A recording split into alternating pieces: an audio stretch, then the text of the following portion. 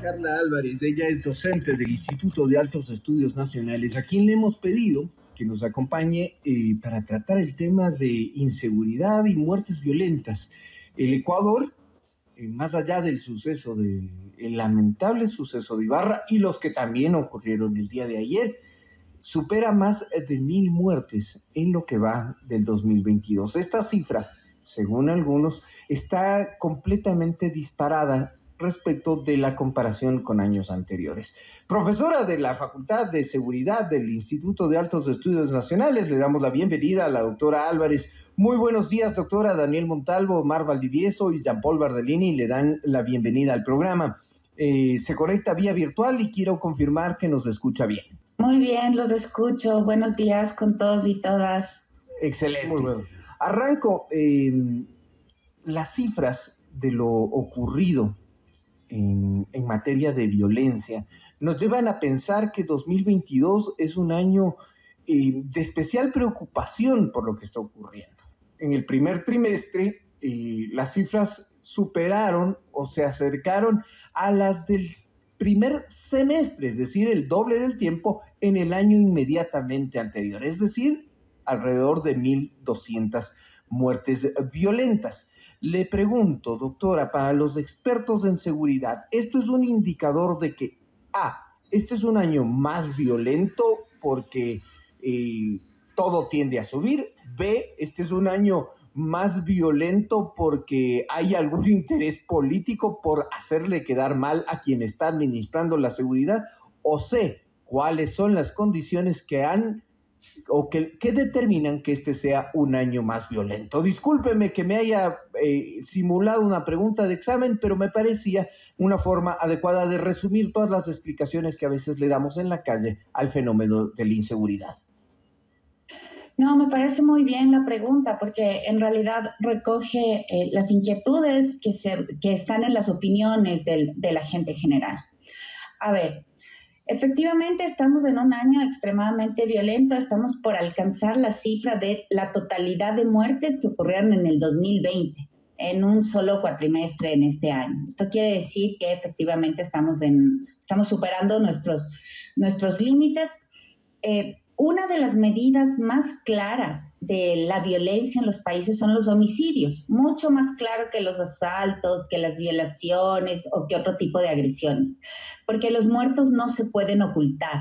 ¿Sí? Cuando hay un muerto, pues hay que contarlo y ese muerto entra en la estadística. Podemos ocultar incluso las razones de la muerte de una persona, pero no podemos ocultar el cadáver. Es una señal inequívoca de que un hecho violento ha ocurrido. En ese, en ese sentido, la estadística de muertes no puede entrañar intereses políticos. Lo que podemos, lo que puede entrañar intereses políticos son las causas, las razones, las maneras como analizamos. Pero definitivamente este es un año más violento que el 2020 y está en camino a ser más violento que el 2021, que ya eh, marcó un indicador alarmante. Entonces, en esa medida, pues podemos ver que si hay más muertos, hay una falla en la gestión, desde mi punto de vista, en la gestión del gobierno y en la estructura del Estado, que no puede frenar esta violencia. Las causas, eh, respondiendo a, la, tercera opción que tenía para mi pregunta, pues las causas son múltiples. Tienen que ver, eh, la violencia tiene que ver a veces con necesidad, tiene que ver con el crimen organizado, tiene que ver con las faltas de con la falta de mecanismos pacíficos para resolver los conflictos dentro de las sociedades, tiene que ver con el comportamiento machista porque hay muchos femicidios o violencia contra las mujeres, tiene que ver con varias cosas.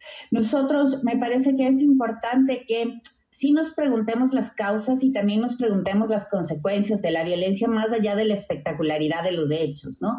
Porque la espectacularidad de alguna manera nos deja nos hace sentir... Em, nos quedamos en lo anecdótico, por decirlo así. Exactamente, sí, exactamente. Nos quedamos en lo anecdótico, empezamos a perder incluso sensibilidad frente a la violencia y en realidad deberíamos preguntarnos, hacernos preguntas más profundas. Por ejemplo, ¿cuáles son las causas, lo que usted me ha preguntado, y cuáles son las consecuencias?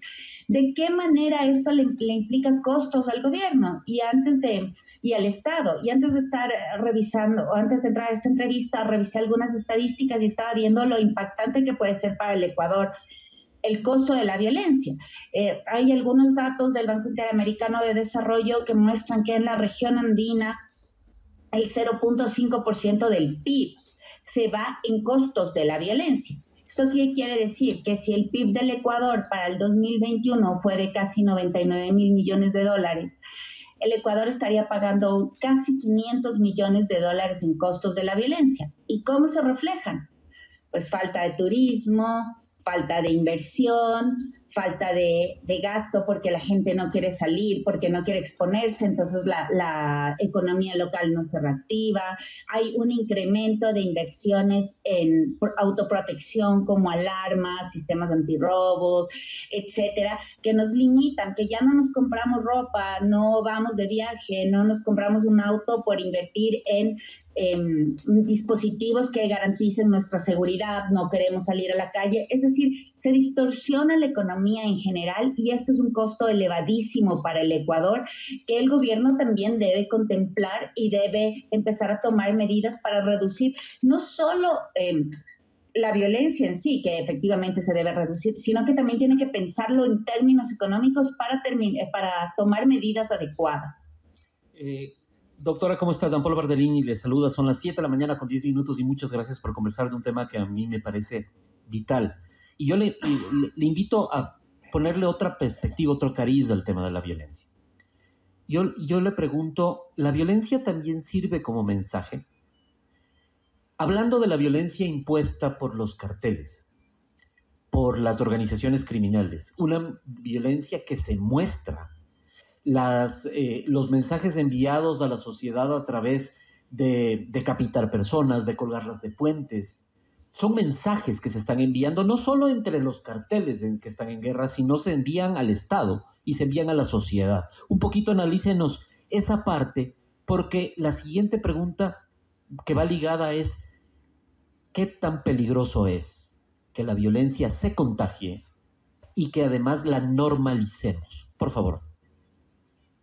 Bueno, es una pregunta compleja, Jean Paul, porque definitivamente todo comportamiento humano habla, desde cómo nos vestimos, cómo nos alimentamos, de qué, y efectivamente la violencia y la exposición de la violencia, de la manera en que hemos vivido, pues tiene unos mensajes. Em, hay gente que habla de que hay expertos, especialistas en narcotráfico que hacen, eh, que hacen investigación sobre eh, las formas de lucha policial y militar contra el narcotráfico, pues estos expertos dicen que las maneras en cómo el Estado está enfrentando el narcotráfico han generado esta violencia. Porque la violencia no es gratuita, la violencia responde también a cómo el Estado reacciona frente a la criminalidad organizada. Entonces hay gente que dice que pues la policía está errada en sus estrategias de lucha contra el narcotráfico y que eh, es tan errada que esto ha generado eh, esta violencia. Ojo, de ninguna manera estoy diciendo que no se debe luchar contra el narcotráfico. Es lo que se debe hacer porque el narcotráfico es un, tipo de crimen que genera muchísima violencia. Lo que se está diciendo es que probablemente hayan estrategias de, mm, de delación promovidas por la, por la misma policía que pueden generar este, esta lucha entre bandas, esta violencia entre bandas, estos mensajes que quieren decir, hey, si me delatas vas a ver lo que te puede ocurrir a ti, a tu familia, a los que están cercanos a ti.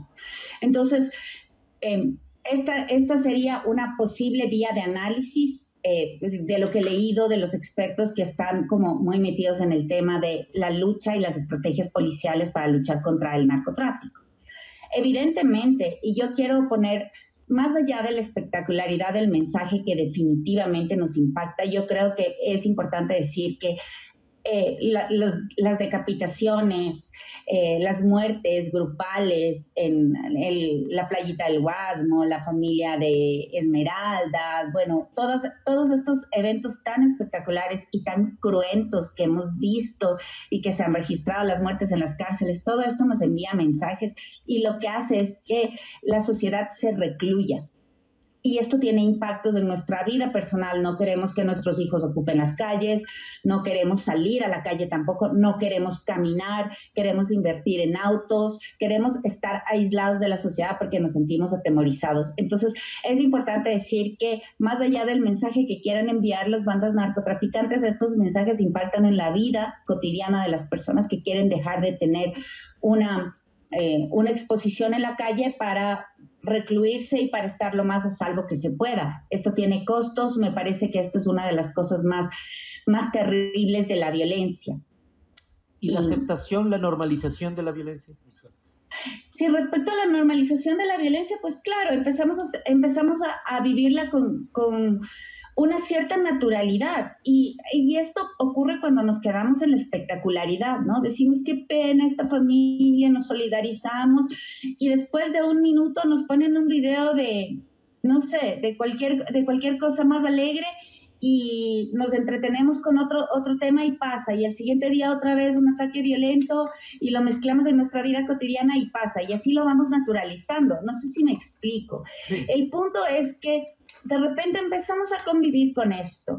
Creo que en este punto sí es bien importante la labor que cumplen las, los medios de comunicación, en el sentido de que busquen analizar y busquen profundizar las causas de la violencia y también busquen enviar un mensaje al gobierno de que se necesitan tomar medidas adecuadas, se necesita tener instituciones estables, se necesita tener líderes de instituciones estables y se requiere adicionalmente invertir un presupuesto adecuado para garantizar la seguridad sin, sin seguridad, sin reducción de la violencia, no va a haber inversión extranjera que venga, por más giras que presidenciales que se hagan. No va a haber turismo que se reactive, no va a haber crecimiento económico. Entonces, es importante también cuantificar en términos de crecimiento económico y de pérdidas en nuestro bolsillo diariamente de, de lo que implica la violencia, porque esto nos afecta de manera directa más allá de la solidaridad que nos pueda generar un acto violento como los que hemos venido viendo Doctora. Todo. Doctora, la violencia en Ecuador no se curará solo con más policías, ¿verdad? Eso yo creo que tenemos muy claro todos nosotros. 30 mil policías más, no sé qué tanto puede coadyuvar a que cualquier situación que sucede ahora nos indican es el narcotráfico, es el narcotráfico cuando no todo es el narcotráfico. Aparte de eso, no sé si las autoridades no responden o nuestras o responden con una lentitud a tal punto de que en el Ecuador solo el 10% de las muertes violentas llega a esclarecerse, solo el 10%. Entonces, ¿cuál, es, eh, ¿cuál sería la primera manera de hacerlo? ¿O tener más policías, educar, o qué tendría que ser el Estado? Pues, o sea, yo creo que Tú planteas muy bien esto. La seguridad no se mejora solamente incrementando el número de policías, porque la seguridad y la violencia tienen causas eh, múltiples, ¿no? Una de las cosas que yo vengo insistiendo desde hace algún tiempo es decir, si la justicia no funciona bien, la seguridad y la, la seguridad no va a mejorar, la violencia no va a reducir. Uno de los indicadores más importantes para la reducción de la inseguridad y de la violencia es el efectivo cumplimiento de la justicia y el efectivo cumplimiento de las sanciones a través de juicios y de procedimientos judiciales adecuados. En el Ecuador eso no funciona. Nosotros vemos que efectivamente como tú planteabas, solo el 10% de los, em, de los casos de violencia se sancionan, solo el 10%. ¿Qué pasa con el resto? No, la ciudadanía no puede llevar la cuenta de lo que pasa. Todo el tiempo estamos viendo que hay manifestaciones dentro de, em, a las afueras de los edificios judiciales para exigir justicia por actos violentos. La justicia no está funcionando. Esto muestra que la justicia no funciona. No podemos, además, presionar únicamente a la policía, que en muchos casos hace muy bien su trabajo, que hace seguimiento, que monta campañas, operativos adecuados para seguir bandas, por ejemplo, o para capturar gente en flagrancia. Y la justicia no opera de la manera adecuada. Creo que el Estado, el gobierno debe poner especial atención en fortalecer el sistema de justicia para que haya un adecuado, una adecuada sanción, que se mejoren los índices de sanción eh, de, las, de las personas responsables de los crímenes violentos y para que se actúe de manera más expedita y que los ecuatorianos sintamos confianza en la justicia, que es una cosa que nos falta como sociedad porque definitivamente el sistema judicial no funciona adecuadamente. Y ahora también tenemos otra visión. Yo creo que eh, el, el, tipo de delincuente, el normal, no, no hablemos de la gran banda, el delincuente, el, ladrón de calle. El lanza, el punga, el arranchador. Se vuelve también más violento. O sea, lo que, lo que hemos visto, eh, que nos rompe el corazón, episodios de los últimos días. Primero, este intento de femicidio con 14 puñaladas de una mujer en un parque delante de todo el mundo.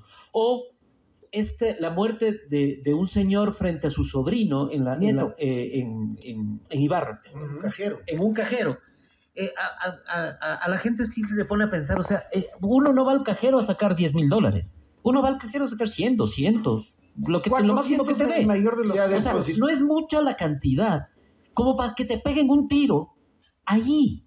O sea, también va en la psicología del criminal, estamos teniendo eh, criminales contagiados, importados o, o, cada, o violentos por esa respuesta social. ¿Cómo interpreta usted? la violencia de, del, criminal, ¿no? Exacto. Bueno, em, es posible analizar como ustedes están planteando desde la criminología, ¿no? Desde cuestionarnos qué tiene un criminal en su cabeza. Eh, para mí es como difícil plantearme esa pregunta. Yo le daría la vuelta o plantearme esa respuesta le daría la vuelta y diría que cada vez el, la, delincuencia común, porque eso no es crimen organizado, la delincuencia común tiene más y más acceso a instrumentos violentos para el ejercicio de la violencia. Es decir, si vemos las estadísticas policiales, vemos que cada vez hay más armas circulando en la sociedad. Pensaría que en Ecuador, o diría con seguridad que en el Ecuador, la principal muerte ocurre con eh, armas de fuego. Entonces necesitamos políticas para controlar la circulación y la proliferación de armas de fuego en la sociedad. Pero, Incluso debería ser una prioridad casi el nivel del control y de la lucha contra el narcotráfico. Eso no se está haciendo. ¿Por qué? Porque las autoridades no tienen una línea de política criminal clara y es necesario que eso exista. Más allá de qué pasa por la mente de cada individuo que desea o necesita cometer un, delito, un robo, un asalto o lo que sea, más allá de, del hecho individual de qué hay en la cabeza, creo que es necesario que se establezcan políticas claras. Pero a mí me preocupa que desde, por ejemplo, ayer una de las radios más oídas en Guayaquil, Radio Sucre, en el comentario el señor Vicente Arrobadito, y aquí yo digo con nombres porque me parece que es necesario a esas cosas sí poner las nombres. La solución que le plantean en su comentario al presidente es que permita que nos armemos, que no importa si nos toca hacer un curso o pasar un examen, pero que nos permitan estar armados. Le pregunto a una experta en esta materia, la respuesta es violenta, tiene que ser violenta, no sé si sea por parte del Estado, no sé si sea por parte de la ciudadanía, pero la respuesta a la violencia tiene que ser violenta. Em, jamás en la vida la reducción de la violencia pasa por una porque la sociedad esté más armada. Eso está comprobado, está en el Ecuador mismo. Los indicadores de violencia entre inicios de los años 2000, entre el 2006 y el 2017, bajaron muchísimo debido a la prohibición del porte de armas hablar de que portar armas va a reducir la violencia significa casi, o poniéndolo en otros términos, significa casi decir que mm, eh, tenemos que tener derecho a la justicia por mano propia, que el Estado no nos defiende y que por eso debemos defendernos nosotros mismos. Me parece que es un discurso absolutamente peligroso que mira, a la, mira al Estado solo desde la individualidad de quien puede protegerse. Las mujeres estamos fuera de esto, las mujeres no usamos armas. En la mayoría del mundo somos las que menos portamos armas. No nos gusta, no, no lo hacemos, estaríamos desprotegidas desde este punto de vista y esto no es pensar en el Estado como una estructura de protección a la sociedad ecuatoriana. El Estado debe monopolizar el ejercicio de la violencia, lo que significa que deben haber cuerpos armados especializados y que la sociedad no debería tener acceso a la venganza por mano propia, que es casi lo que nos proponen los que los propulsores o los que fomentan el libre porte de armas desde mi punto de vista eso no se debe hacer, debemos más bien eh, fortalecer las instituciones que forman parte del sistema de seguridad, la policía, las Fuerzas Armadas, la justicia, eh, la Defensoría pública, etcétera, etcétera, etcétera. Entonces, debemos fortalecer el sistema para que el Estado monopolice la violencia, para que no esté pasando lo que ahora pasa, que tenemos eh, una eclosión de la violencia común, del crimen organizado, que tenemos pues una explosión de violencia carcelaria que no se ha podido controlar porque no tenemos una estabilidad institucional, los recursos adecuados y políticas de seguridad, políticas de eh, lucha contra la criminalidad adecuadas. 7 de la mañana con 24 minutos, 7 de la mañana con 24 minutos.